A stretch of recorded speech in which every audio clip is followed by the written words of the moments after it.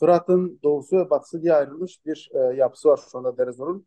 E, özellikle e, Derezor'un doğu kısmında e, ve Fırat'ın doğusuna düşen bölgelerde e, Kase'de güçleri yine Derezor Askeri Meclisi e, hakim. E, Fırat'ın batısına düşen bölümünde ise e, Şam hükümeti güçleri ve ona bağlı farklı e, e, askeri gruplar e, yer alıyor. Özellikle bu askeri grupların başında da Difal el-Vatani grubu yer alıyor.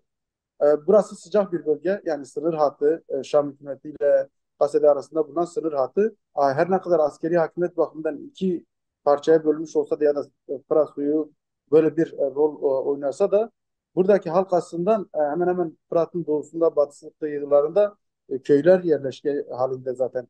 Bu bölgelerde büyük şehirler, büyük kasabalar yok.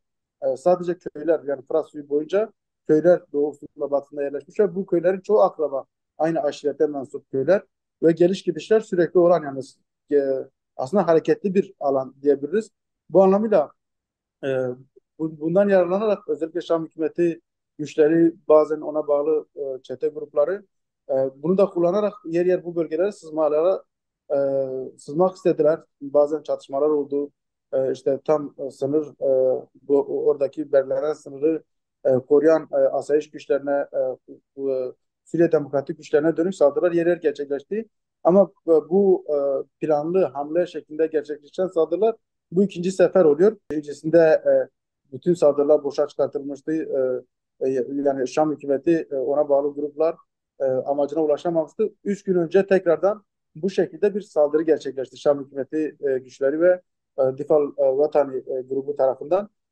Aslında Şam hükümetinin her ne kadar Kasede ile büyük çatışmaları göze almasa, savaşa girmese de devrim sürecinden bu yana e, bunu göze almasa da yer yer e, bölgedeki halkları kasedeye karşı kışkırtma, işte halklar arasında nifak e, çıkartma, nifak tohumu ekme, işte e, sadece Derezur'da değil, Münbiş'ten Rakka'ya kadar, Haseke'den hatta Kamuşlu'ya kadar yani e, Şam hükümeti güçlerinin olduğu her yerde aslında bu planlamaları yaptılar. E, aşiretleri örgütlemeye, işte Kürt ve Arap çatışması çıkartmaya, e, Arapları mümkünse Kasede'ye karşı çıkartmaya dönük girişimler vardı. Bu büyük askeri saldırılara dönüşmedi şüphesiz. Şüphesiz Derezor'da yaşayan genellikle Arap halkları e, ve aşiret yapısı e, daha çok ön planda olan e, bir güçten bahsediyoruz. Daha sonrasında Kasede'nin bu bölgeyi kurtarmasıyla birlikte aslında ilk defa Derezor halkı e, hem siyasi hem toplumsal hem askeri olarak kendi meclislerini kurup kendi kendini yöneten e, özel yönetimle e, birlikte e, özel Kuzeydoğu Suriye e, özel yönetimine karşı özel örgütlenmesi olan kasede içerisinde özel örgütlenmesi olan işte Derezor askeri meclisi olan kendi kendini yöneten bir duruma geldi. Bu anlamıyla e, bölge aşiretlerinin de e, bu e, siyasi, toplumsal, askeri yeni duruma e, bir anlamıyla yani e, kendi iradeleriyle katıldıklarını belirtebiliriz.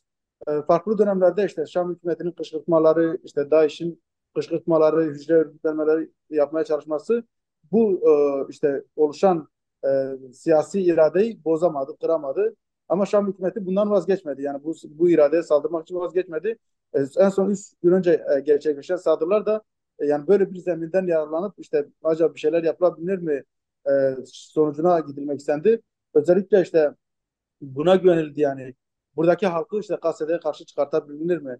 E, Arap aşiretleri, Derezor'daki bütün aş, e, Arap aşiretleri e, hemen hemen bütün bölgelerde çıkıp açıklamalar yaptılar bu saldırıları kınadıkları Şam hükümetinin farklı planlamalarının olduğu bölgede huzursuzluğu, çatışmayı e, geliştirmek istediğini, e, siyasi amaçlar güttüğünü bütün Arap aşiretler buna karşı çıktılar. Zaten bu bölgede aşiret yapısının ağırlıklı hakim olduğu bir bölge ve buradaki aşiretlerin çoğu siyasi iradesini özel yönetimle bir yapmış. Askeri iradesini Derezor askeri meclisi ve işte e, Suriye Demokratik Güçleriyle askeri iradesini bir yapmış. Bütün saldırılara karşı DAEŞ'e karşı ortak mücadele etmiş. DAEŞ'i bu bölgede ortadan kaldırmış. Şu ana kadar DAEŞ'in burada gerçekleştirmek istediği hücre yapılanmalarına karşı e, savaşmış, mücadele etmiş bir halktan bahsediyoruz.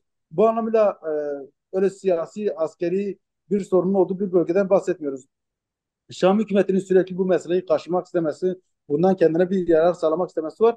Hakeza son dönemdeki Ankara-Şam görüşmeleri, Ankara'nın Suriye'de e, şu ana kadar gerçekleşen politikaları yenilince yani bir kazanım elde etmeyince tekrardan Şam hükümetine dönüp bunlarla görüşmeler yap, ortak planlamalar yapması ve temel e, Türkiye'nin buradaki Şam hükümetiyle yapmak istediği görüşmelerin hepsinin temelinde de şüphesiz Kürt düşmanlığı, Kuzeydoğu Suriye özel yönetimi düşmanlığı yer alıyor ve Şam hükümetine de bunu e, yansıtıyor.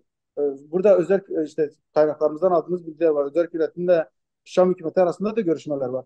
E, Şam hükümeti bunu e, açıkçası Kuzeydoğu Suriye e, sorumlularına bunu söylüyor yani diyor Türkiye biz, bundan bizden bunu bunu istedi yani. Adana Antlaşması'nı istedi.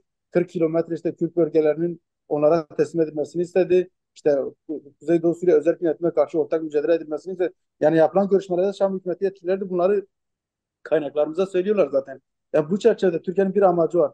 Pratikte de gördüğümüz işte hem basınlarda hem sosyal medyada bunu işte sürekli işte bir Kürt-Arap savaşıymış gibi lanse etmeye çalışmışlar. Kamuoyunda bunu yansıtmaya çalışıyorlar. Hakeza e, bu Derezor'daki saldırıların Şam hükümeti güçlerinin başlattığı saldırılarla birlikte hemen hemen e, bütün Türkiye sınırında Kuzeydoğu Suriye saldırılar tekrardan e, bir üst dereceye ulaşarak devam etti. Yani Kamuşlu, e, Gırkelege gibi bazı bölgelere İHA'larla, SİHA'larla saldırılar gerçekleşti. O bu ne anlama geliyor? Yani ortak bir e, çerçevede saldırı yapıyoruz. Ya da bunu e, lanse etmeye çalışıyorlar. İşte bakın bizim işte Şam hükümetiyle birlikte işte sözde Kürtlere ya da Kuzeydoğu Suriye işte halklarına karşı işte mücadeleyi başlattık, savaşı başlattık e, mesajını vermek istiyorlar.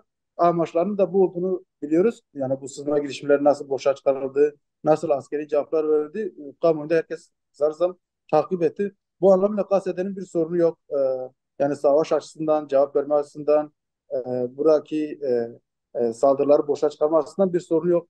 KSD daha çok siyasi e, görüşmeleri, siyasi anlaşmayı, bölgede işte bir çatışmasızlığın yaşanmasını ön plana çıkararak, çıkararak aslında e, savaşmadı. Yani bu siyasi e, düşüncesini e, kabulü halen paylaşıyor, halen koruyor.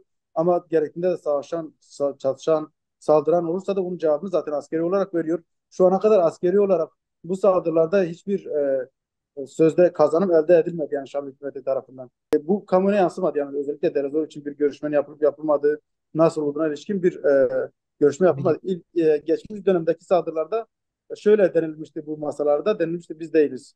Burada saldıranlar biz değiliz. E, o zaman Şam hükümeti e, kontrolünün olduğu bölgede kim saldırıyor?